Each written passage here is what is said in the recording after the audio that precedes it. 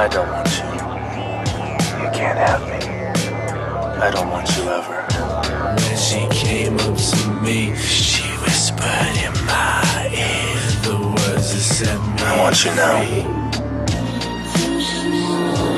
Valentino Veep, the new fragrance for men.